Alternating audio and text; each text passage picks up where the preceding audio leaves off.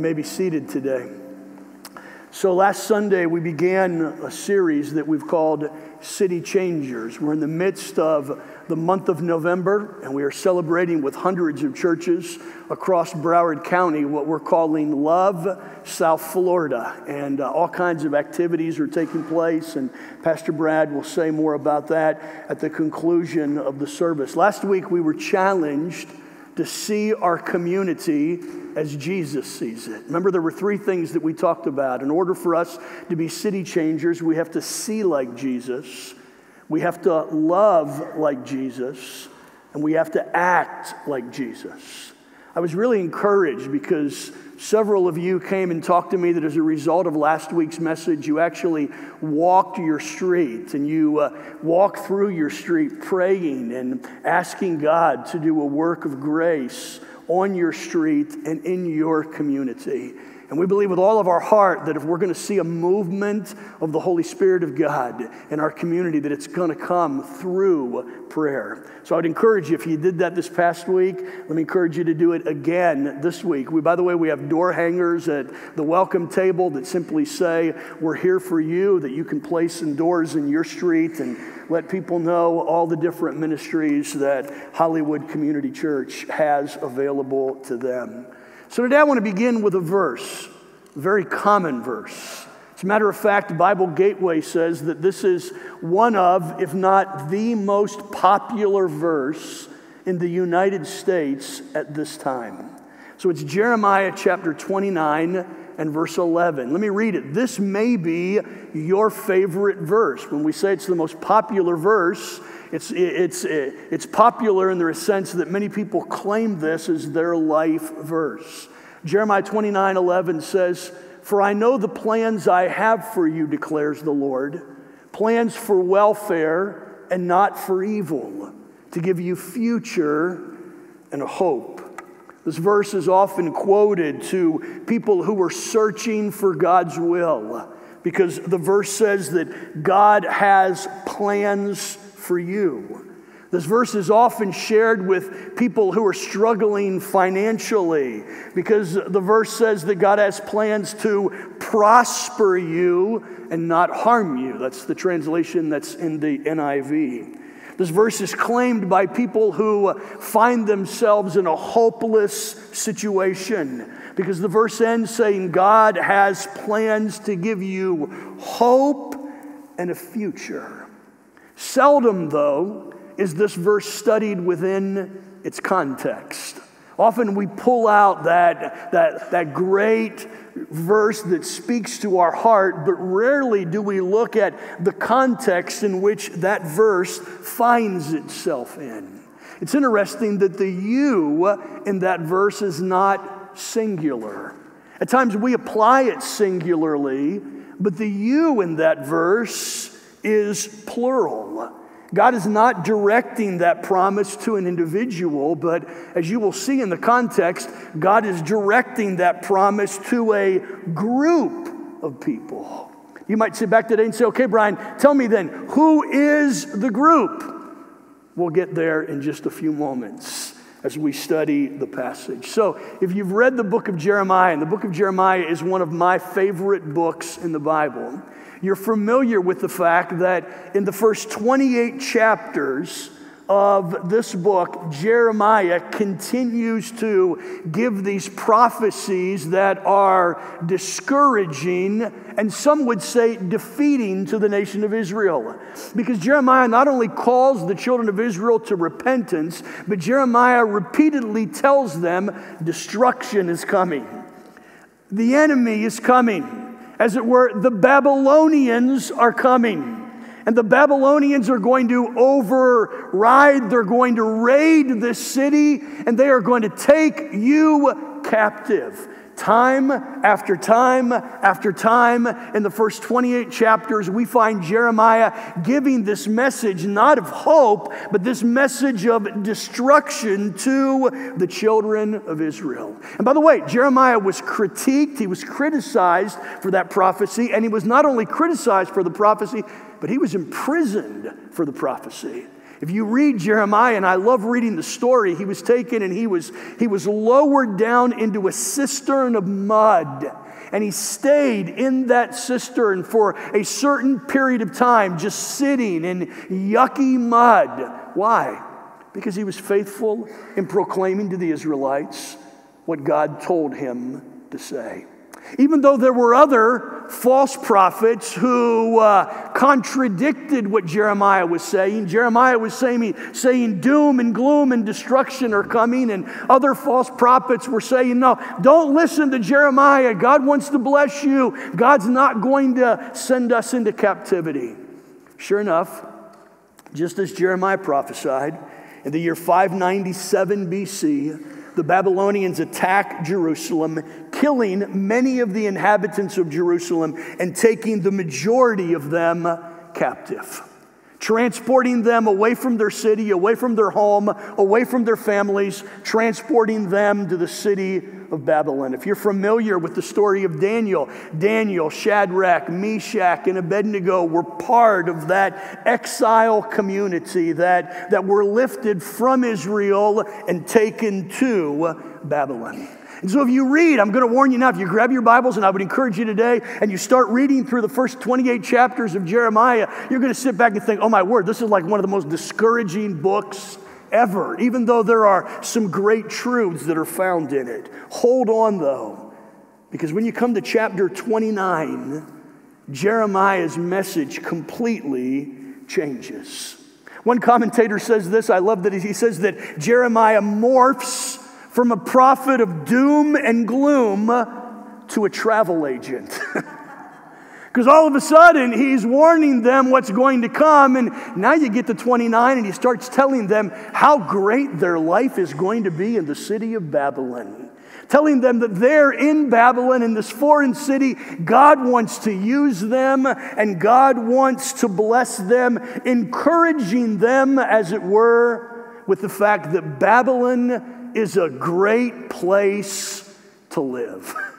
Could you imagine if we were invaded by another country and not only were we invaded, but the majority of us were taken captive, and then someone stands up and has the audacity to say, Man, in that new country where you're a captive, you're going to have a great life there. And I'm telling you, it's going to be just a great experience. We'd look at that person as if they had four eyes and horns, thinking, What in the world are you talking about? That's exactly what takes place in Jeremiah chapter 29. So if you grab your Bibles, turn with me to Jeremiah chapter 29, and I want to read the first 13 verses. We'll put verse 11 in context, and I think we'll see how you and I can make a difference in our city. Just as Jeremiah encouraged the Jews, the exiled Jews, to make a difference in their city, you and I can make a difference in Hollywood as well. Notice verse 1 of Jeremiah 29. We'll put it up on the screen. These are the words of the letter that Jeremiah the prophet sent from Jerusalem to the surviving elders of the exile. Stop there for just a second because you're going to notice two things. So, Jeremiah, for some reason, was not one of the exiles. So, Jeremiah was able to stay in Jerusalem. So, so Jeremiah is in Jerusalem writing to the people who had been taken captive, who were exiles, now living in Babylon. You'll notice another part of that phrase. He says, These are the words of the letter that Jeremiah the prophet sent from Jerusalem to the what? Surviving elders. So, so no doubt the Israelites had gone through horrific experiences. Not only had they been invaded, but many of their kinsmen, many, of their family members, many of their contemporaries were killed in the process of the invasion. And the great majority of them who were not killed, who survived, were then transported to Babylon.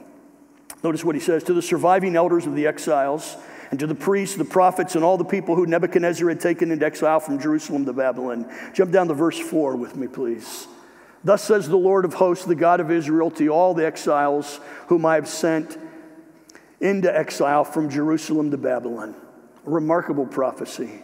Build houses and live in them, plant gardens and eat their produce, take wives and have sons and daughters. Take wives for your sons and daughters, and give your daughters in marriage that they may bear sons and daughters and multiply there. And do not decrease, verse 7, but seek the welfare of the city where I had sent you. Now, once again, where are they?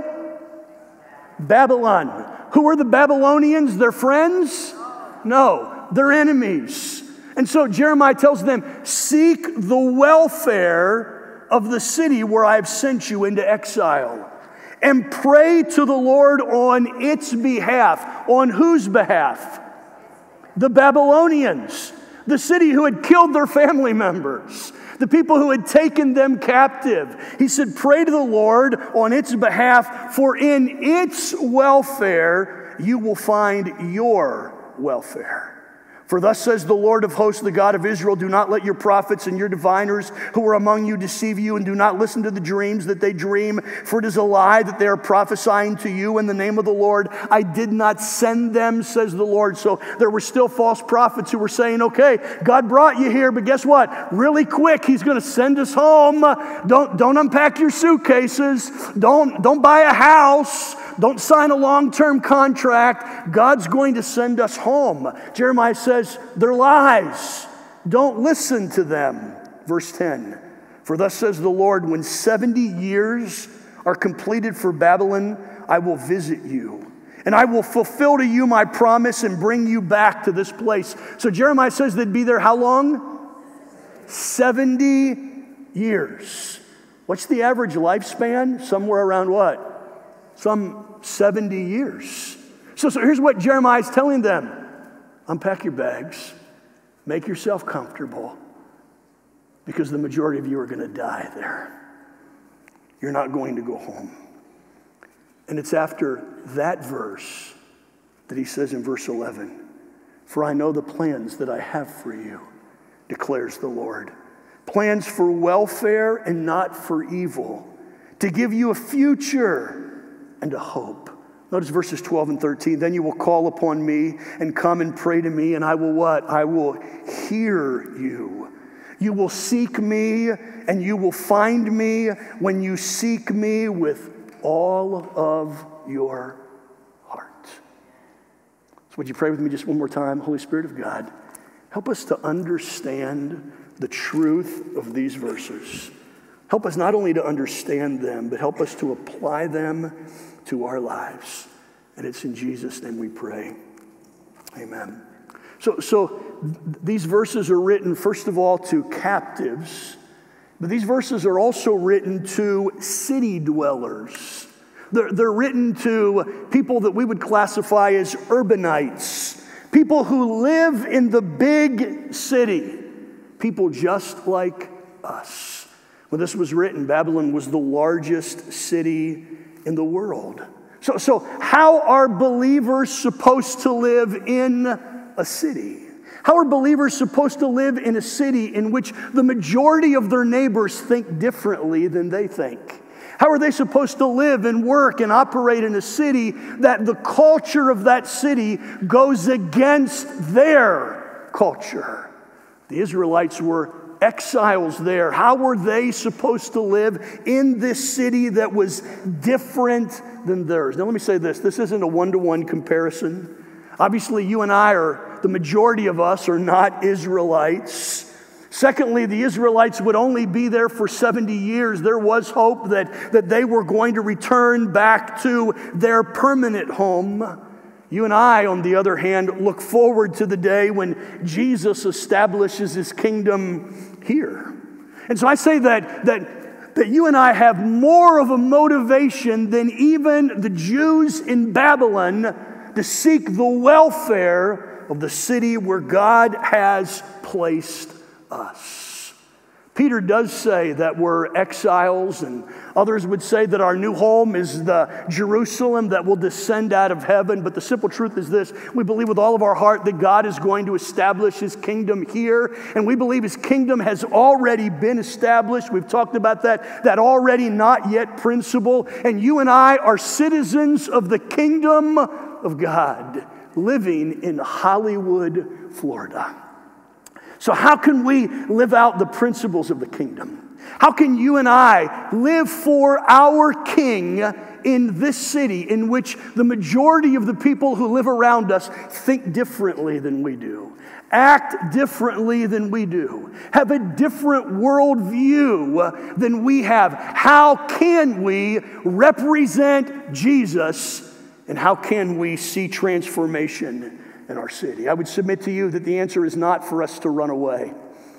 The answer is not for us to go somewhere mid state, build a commune, build a wall all around us, and let's protect ourselves from the evils of the community. That's not what we're supposed to do. As a matter of fact, we're supposed to live in the community where God has placed us, and we are to be salt and light there. So, as citizens of the kingdom, how can we seek the welfare of the city? There's several principles that I want to draw from this and apply to us as we strive to be city changers and community changers. The first principle is this it's a little difficult to swallow. It was for the Israelites, but the first principle is this make yourself at home in the city. Make yourself at home. Admittedly, cities are tough places to live, are they not? We talked about that last week. How many of us would rather escape to the country? We all probably would. Your ideal place is some uh, house on a lake somewhere with beautiful foliage all around you. And, and, uh, and, and the desire to escape is a very real desire. But I believe with all of my heart that just as God told the Jews through Jeremiah, make yourselves at home in the city, God is challenging us to do the exact same thing, even though cities are difficult places. I read and studied quite a bit on cities this week, so let me read you a couple of humorous quotes. So, Reverend John Stott, who lived in the late 1800s in the United States, was a pastor. Notice this, Notice this quote that he said Let no man who values his soul or his body ever go into a great city to become its pastor. I don't know, maybe I should have taken that advice. I'm not exactly sure, huh? Ralph Waldo Emerson, who is one of the great poets of the United States, lived in Philadelphia, and he said this If all the world was Philadelphia, suicide would be extremely common. All right, now, I don't think that's a blight necessarily on Philadelphia. I think that's a blight on city living. Saying it is what? It is, it is difficult to live in the city. Think with me today. Although Hollywood is a paradise and the surrounding communities around us, we talked about that last week, although it's a paradise to many, there are many who live in our community who feel as if they're living in exile. He said, Brian, what are you talking about? What are you talking about? Man, I, I did a lot of research in our community this week, and I walked away with a broken heart for the community in which we live. Do you realize that 16.2% of our community, the people that live around us, live under the poverty level? That's almost one in five people who live in our community live in the poverty or under the poverty level.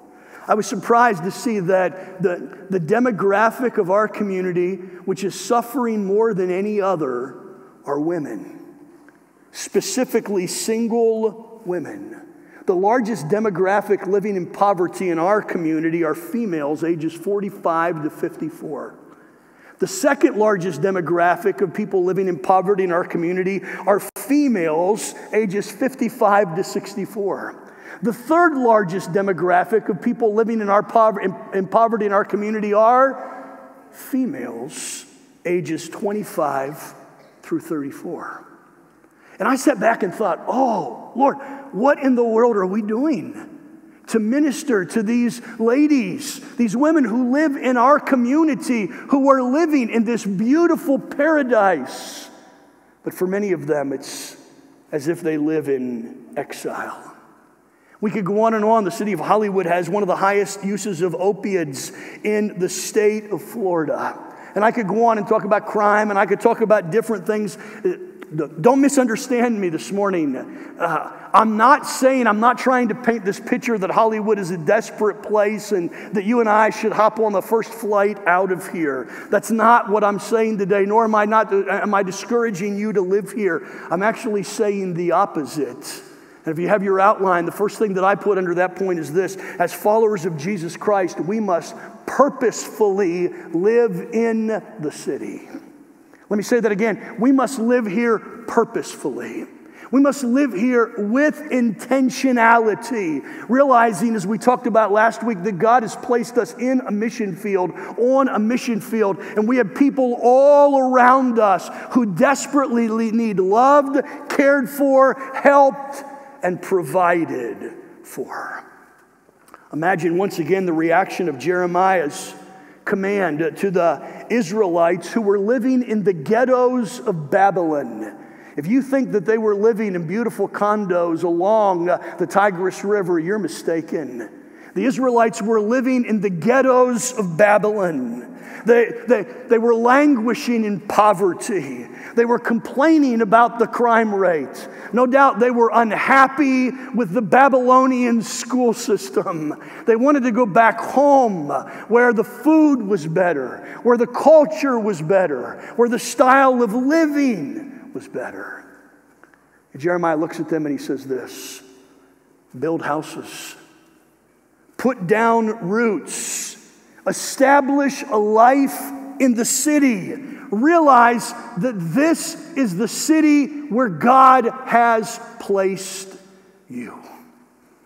As a matter of fact, he tells the Jews, he said, You're going to be here for the next 70 years. Make this your home. You see, church, here's what I believe. I believe that in order for us to reach the cities, we have to have the exact same mentality. Tim, uh, Tim Keller, in his book City Church, outlines this beautifully, talking about if we're ever going to transform the cities, we have to have the conviction that God has placed us here. Ronald J. Sider, in his book, The State of, the, of Evangelical Concern, Evangelical Social Concern, says this. I put the quote up on the screen. Evangelicals must re- reverse the continuing evangelical flight from the cities. Tens of thousands of evangelicals ought to move back into the city. If just 1% of evangelicals living outside the inner city had the faith and the courage to move back in, evangelicals would fundamentally alter the history of urban America. What is he talking about? He's talking about living where God has placed us with purpose. Living where God has placed us with intentionality instead of longing to live somewhere else, realizing that God has placed us here in His sovereignty, in His plan for our lives. Just as He placed the Jews in Babylon, He has placed you here. And He has placed me here. And He has placed us here with and for a purpose. You see, the second thing that I would say is this as followers of Jesus Christ, we must intentionally get involved in our city. We must do it with purpose. We must do it with intentionality. Jeremiah's exhortation tells the Jews to get fully involved in Babylon. They were to become involved in its life. They were to become involved in its work. They were to work in it. They were to be, excuse me, praying for it as well, as we'll see in just a few moments. Now, obviously, that passage was written at a different time, in a different culture, and a different place. But the text gives us some ideas what you and I can do to make a difference in our community. Let me just list a bunch of things, and these are just a few of the many things that we could do to make a difference in our community. But, but, but, but here's what Jeremiah is telling the Jews, and I believe what the Holy Spirit would say to us get involved in community development. Join in your community association. So many times as believers, we back away from everything. All we want to do is get involved in church stuff, and we back away from the community to which we are supposed to be salt and life. Adapt to the food. He tells, he tells the Jews living there, he said, plant gardens, eat from the food that is produced from your gardens. Go about business as usual. He tells them, get married, have kids, have your kids get married, produce grandkids. Those of us who are grandparents would say, Amen to that, right? I think he would tie right in with what we preached about in our last series. Realize that your job is your calling. And the place where God has placed you in, uh, in your work, your job, what you do from Monday to Friday or Monday to Saturday or whatever your work schedule is, realize that God has placed you there for a purpose, as we'll see in just a moment, to make our community flourish. And so the place in which we live might experience shalom, might experience the peace of God.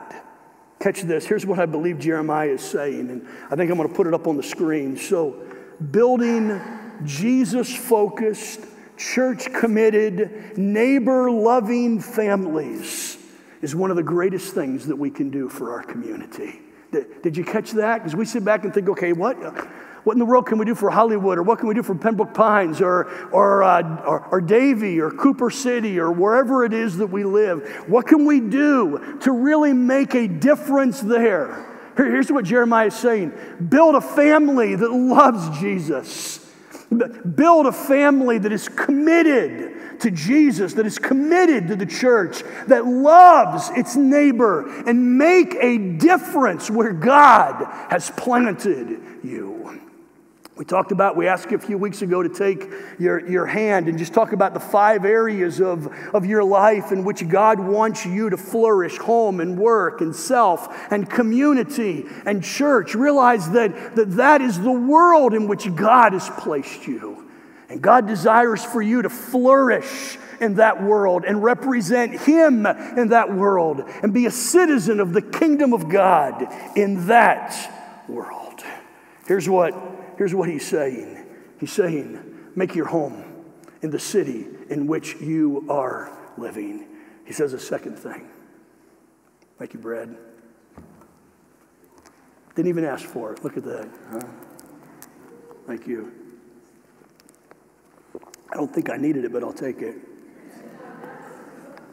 He says the second thing in the passage, and this is really interesting. He says, Seek the welfare of the city. If you have your Bibles or your electronic device in front of you, no, notice verse 7, because notice what he says. And I, I, I, I want to read it like it is in RESV, and then I want to explain it just a little bit. He says, But seek the welfare of the city where I sent you into exile, and pray to the Lord on its behalf, for in its welfare you will find your welfare.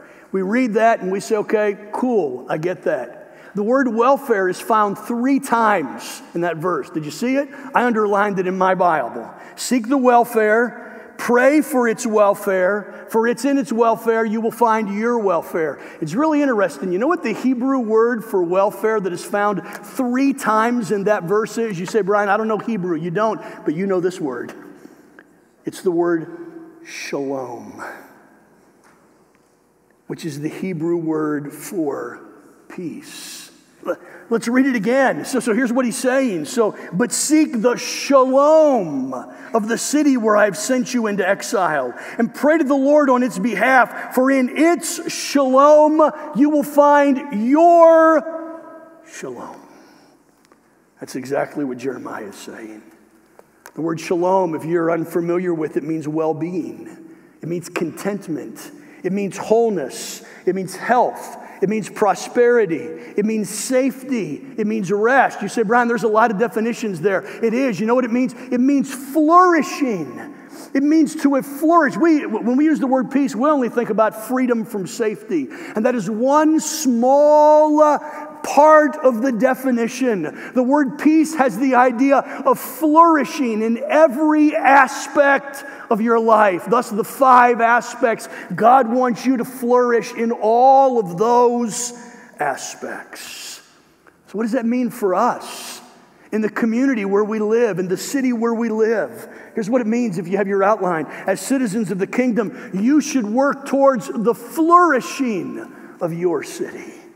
As a church, our desire should be that Hollywood flourishes the Broward County flourishes. The South Florida flourishes. That's what he says. Seek the, the welfare, seek the shalom, seek the flourishing of the city where God has placed you. How do we do that? So, starting this afternoon or starting tomorrow morning, how do we do that? Let's just talk through that. Let's flesh that out for just a second. How do we do that? Get to know your neighbors. Become a good neighbor. We talked about that several weeks ago about how, how poorly we uh, communicate and get to know our neighbors. Get to know your neighbors.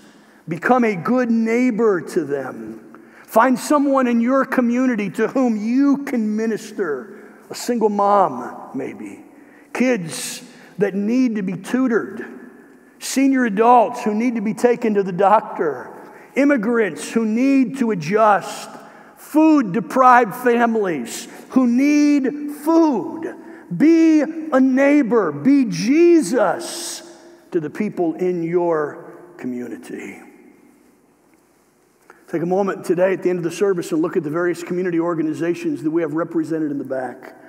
We're striving our best to partner with community organizations, whether it's Hispanic Unity, whether it's the Boys and Girls Clubs of Broward County, whatever it is. And, and, and, we have several of them that are, that are back there. You might sit back and say, well, Brian, those aren't all Christian organizations. No, but they're all organizations that are doing a great job in our community. And they're all organizations that need to be. Uh, uh, partnered with and by churches and believers just like us. The idea of seeking the welfare of others, by the way, is not just an Old Testament principle. We find it throughout the New Testament. Let me show you two verses that Paul used in Galatians chapter 6 and verse 10. Paul says, So then, as we have opportunity, let us do good to whom? Whom does he say? Let us do good to everyone. So let us do good to the people whom we like, and let us do good to the people whom we don't like, right?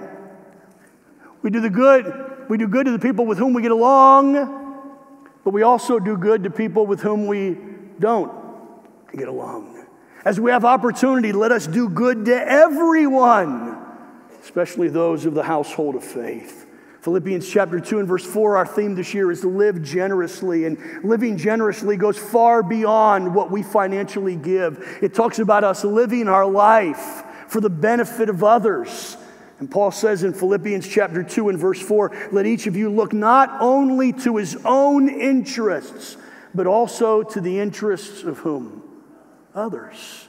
And so we live our lives looking how we can be a blessing to others realizing that tomorrow morning I'm a representative of Jesus Christ and I want to be a blessing to somebody else. And Tuesday I'm a representative of Jesus Christ and I want to be a blessing to someone else. And so I look for opportunities to be generous, to be kind, to be forgiving, to be caring, to see them, love them, and act towards them as Jesus would and as Jesus would have me to do. You see, we seek the welfare of our city when we work towards the flourishing of our city. That's not just a Sunday activity. That's just not a Hollywood Community Church sponsored activity. That's you and I living our whole lives, realizing who we are, where we are, and what God has called us to do, and who God has called us to be. But we also need to realize the second point there is we need to realize that as the Prince of Shalom, only Jesus is the one who can bring real peace. We see that throughout the scripture. Isaiah 9 6 refers to the Messiah, refers to Jesus as the Prince of Peace. I love this passage. Pastor Jose is going to speak next Sunday on this passage in Ephesians chapter 2, so I don't want to take any of his uh, shebang that he's going to be talking about. But notice Ephesians chapter 2, verses 13 and 14. But now in Christ Jesus, you who were once brought near by the blood of Christ, for he himself is our what? Peace who has made us both one and has broken down in his flesh the dividing wall of hostility. And so, guess what we're going to talk about next week? We're going to talk about the things that divide us as a community. The things that, that tend to put one group of people on one side and another group of people on the other side. We're going to talk about how, as the body of Christ, we're allowed to have those differences of opinion. But in Jesus Christ, we all what? We all come together and we're all unified in Christ. Why? Because Jesus is the Prince of Shalom. He is the one who brings peace, He is the one who causes us to flourish. So I say this real peace, real racial harmony, real political unity, real shalom can only be experienced as we, as we embrace Jesus, the Prince of Shalom. And Jeremiah reiterates that truth in these verses. He says that we should do a third thing. So, in order to be city changers, we must make ourselves at home in the place where God has placed us. We must seek the welfare, the shalom of our city. But he tells us to do a third thing. He tells us to pray for our city. Notice verse 7 once again. We've already alluded to it several times, but seek the welfare of the city where I've sent you into exile and pray to the Lord on its behalf. Think with me today. Can you imagine how hard it was for the Jews in exile to pray for the peace of Babylon? Pray for the shalom of Babylon? You got to be kidding me. If I had a chance and I had a knife in my hand, I'd put it right in Nebuchadnezzar's chest. He killed my family. He uprooted me from my life. He's changed us completely. Our life is ruined. Pray for the shalom of Babylon? You've got to be kidding me. That's exactly what Jeremiah, what God told the Jews to do through Jeremiah. Pray to the Lord on its behalf. And don't just pray that they get what they deserve. Pray for its what? Its welfare. Pray for its shalom, its flourishing, its contentment, its peace, its well being, its safety. It's interesting. Jeremiah chapter 29 and verse 7 is the only verse in the entire Old Testament in which God's people are explicitly told to pray for their enemies. We find a few verses in the New Testament, but this is the only one in the Old Testament. So, so what are the applications for us? A couple of things. I said this, and catch this, church. Prayer is the civic and spiritual duty of every follower of Jesus Christ. Let me say it again. Prayer is the civic and spiritual duty of every follower of Jesus. Let me read you a verse, Paul's words in 1 Timothy chapter 2, verses 1 and 2, and we'll put them in historical context. Notice what Paul says. We'll put it up on the screen. 1 Timothy 2, 1 and 2. Paul says, First of all, I urge that supplications, prayers, intercessions, and thanksgivings be made for all people, for kings, and for all who are in high positions, that we may lead a peaceful and quiet life, godly and dignified in every way. Now, on the surface, that makes sense because we live in a secure country, a democratic country where we experience safety. And although we might not agree with all of our politicians, we probably can swallow praying for them. But I would remind you that Paul was writing to people that were living in the Roman Empire. Christians living in the Roman Empire. Depending upon when Bible scholars date 1 Timothy, it's a good chance that Nero or one of his predecessors was king, was emperor of the Roman Empire. You say, Brian, what, what's that mean? They persecuted Christians. Remember, remember the Roman Colosseum? where, where Christians were placed in the middle of the Roman Colosseum with what? With lions. They were beat to death and they were killed. You see, it's that administration that the Apostle Paul encourages Christians to what? Pray for kings. As a matter of fact, not just for kings, pray for everybody who is in a high position of authority. Why? So that we may lead a peaceable and quiet, godly, and dignified life in every way. Well, church, let me say this, and I, I, I know I'm going to step on a few toes, but I'm going to do it with love, all right? The command is not to pray just for those for whom you voted or for those with whom you agree. Paul's exhortation to Timothy was to pray for even those leaders with whom we disagree, to pray for those leaders that are even out looking for our harm as followers of Jesus Christ, as citizens, not of this kingdom, but citizens of a kingdom far greater than this kingdom. A kingdom, by the way, that one day is going to absorb all of this kingdom. Paul says, Pray for your leaders. And pray that God does a work in their lives and God does a work through their lives. Oh, church, let me give you an exhortation. What if all of us committed to pray for our mayor, for our congressional leaders, for our commissioners, for our representatives, both local, statewide, and national? What if we as a church took the command seriously and we cried out to God for our community?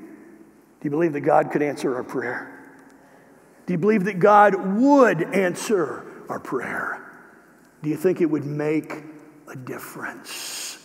You see, in order, and I believe this with all of my heart, church, if we are going to see a movement of the Spirit of God in the city of Hollywood, it's going to happen as we fall on our knees and we beg the Holy Spirit of God to do a work in our hearts. And we beg the Holy Spirit of God to tear down even the bitterness and the hardness that we have. And we pray for God to unify us. Not that we all agree together, there's not going to be a kumbaya moment until Jesus comes back. But for us to sit back and realize, for the sake of the King kingdom, for the sake of Jesus, for the sake of our community.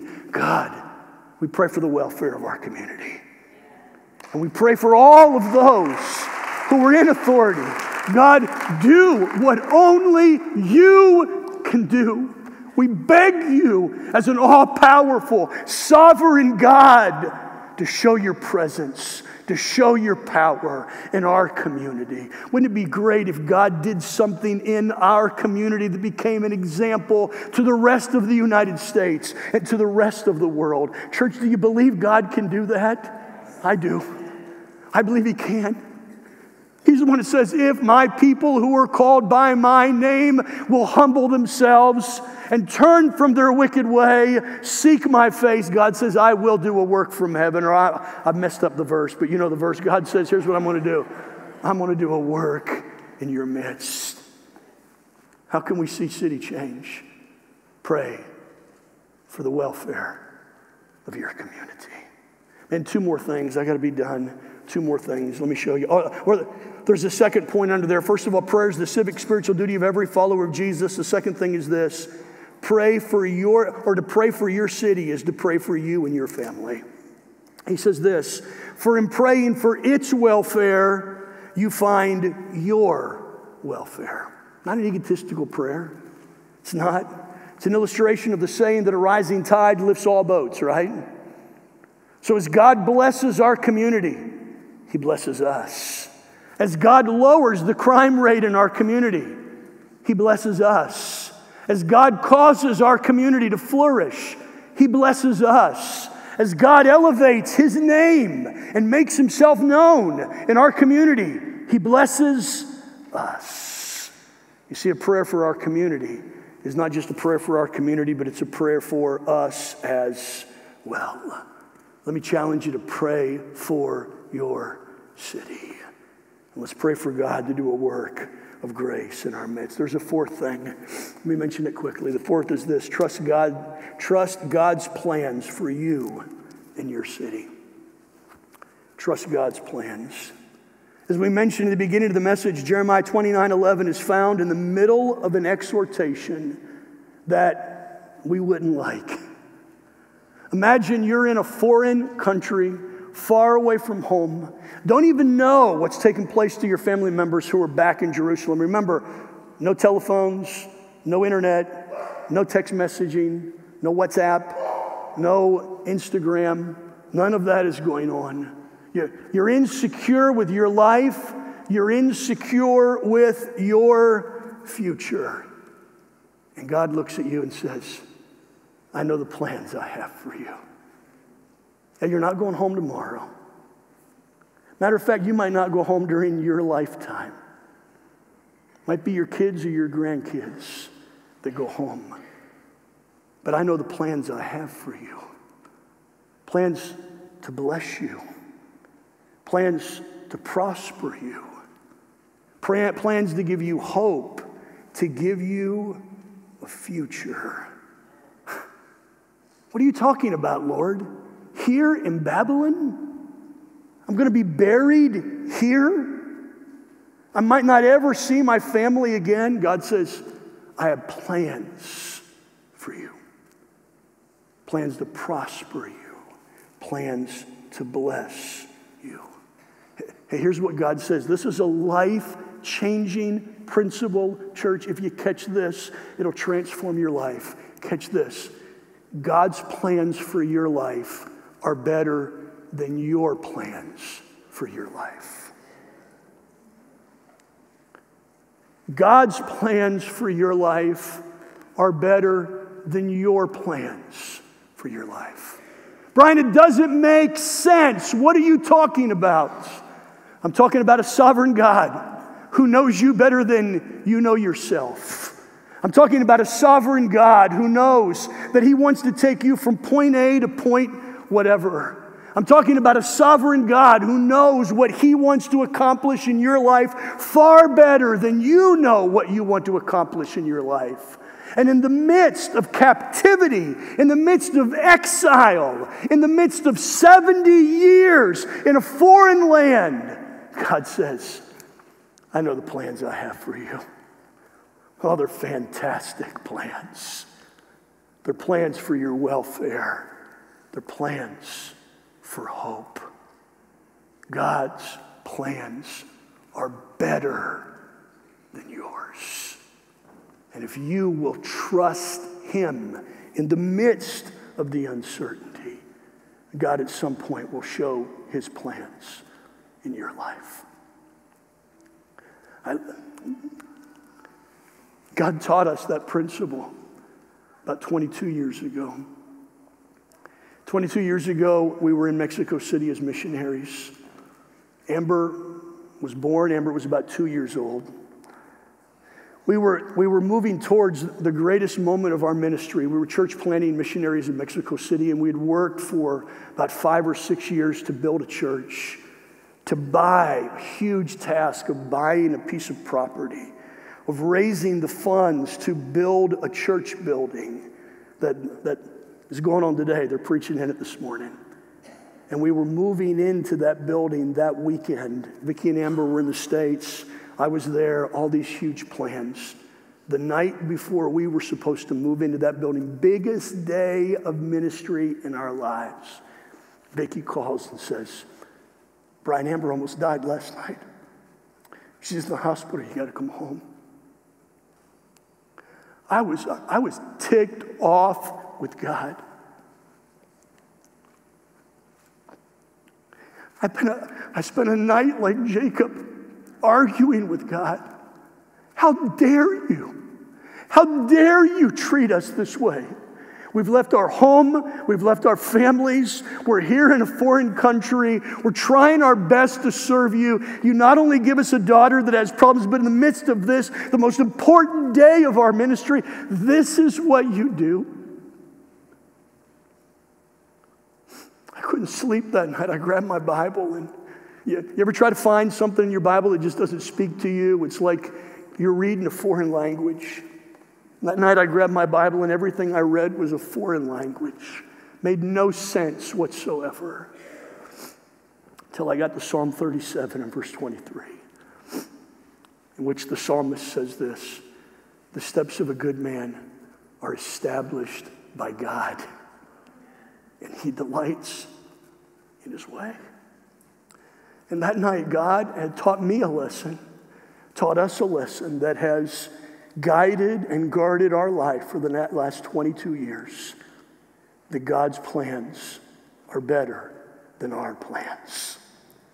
Might not make any sense to us, but that doesn't mean that it doesn't make sense to God.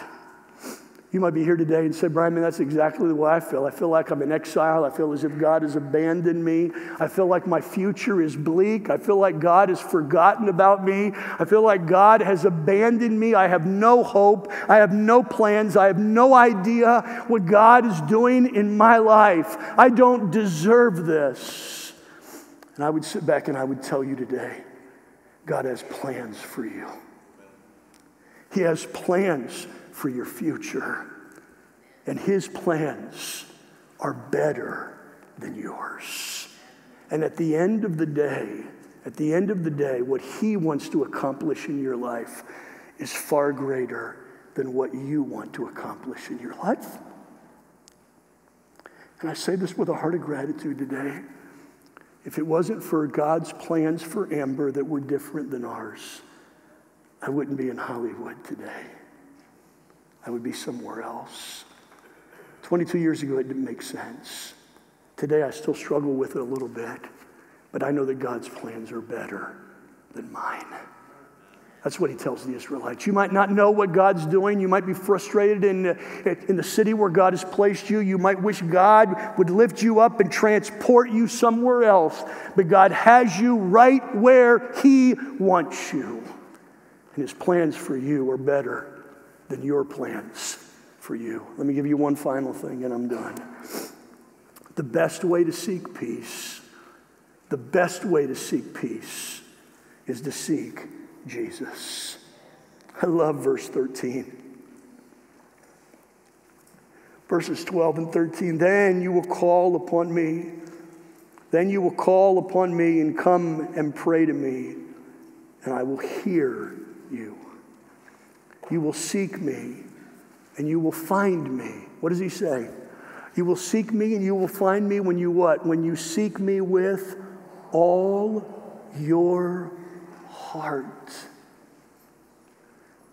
God, are you in Babylon? I thought you were just at the temple in Jerusalem.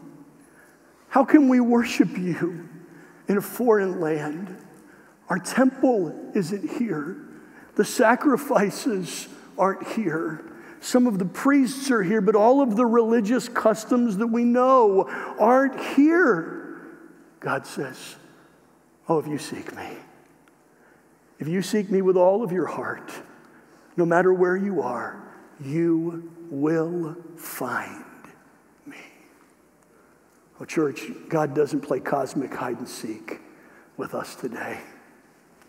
He, he doesn't do the old shell game where we're trying to find his will and he's, he's taking pleasure out of hiding it from us.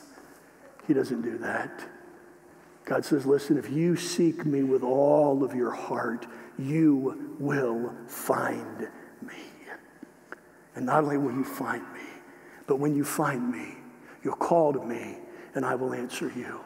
And when you find me, you will experience shalom. Yeah even in a dark place. And when you find me, together, together, we can seek the welfare of the place where I have placed you. Church, God has us here at this time and at this place for a purpose. I believe with all of my heart that purpose is to make a difference, not only in my life and yours but to make a difference in our city, not for our glory, but for His glory. And may He use us far above and beyond our abilities to see a community changed for Jesus.